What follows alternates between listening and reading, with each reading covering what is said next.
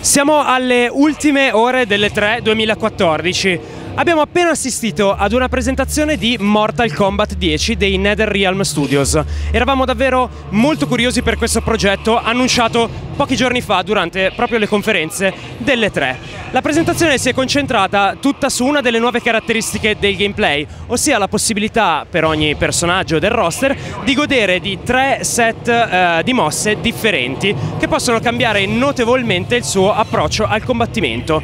Eh, ci è stato mostrato ad esempio il set di mosse di Sub-Zero che ha a disposizione diverse particolarità tra cui una sagoma di ghiaccio di se stesso che può creare ed usare in vari modi, può sbatterla in faccia all'avversario oppure può lasciarla a modi trappola, di conseguenza se l'avversario la eh, dovesse toccare rimarrebbe a sua volta ghiacciato e poi esposto alle offensive proprio di Sub-Zero. Abbiamo poi visto Scorpion invece che basa eh, i suoi attacchi solitamente sul fuoco e può sfruttare ad esempio l'intervento di un demone che eh, acchiappa il il giocatore avversario e lo mantiene fermo mentre Scorpion può continuare a fare danni. Abbiamo poi visto alcuni dei personaggi nuovi, saranno quattro in tutto. Quello che ci ha colpito di più è sicuramente Ferrator, ossia un gigante guidato da una donna psicotica che sta sulle sue spalle e praticamente lo controlla. Si tratta di un personaggio interessante perché permette diversi approcci a seconda che si attacchi con il gigante oppure che si attacchi con la donna stessa che può scendere dalle spalle del gigante e sviluppare tutta una serie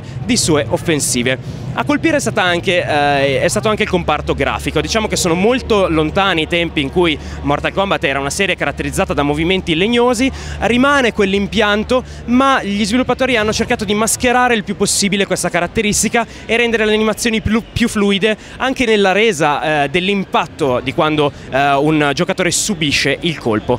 Nel complesso ci ha impressionato molto, naturalmente soltanto con un end zone potremo davvero capirne di più.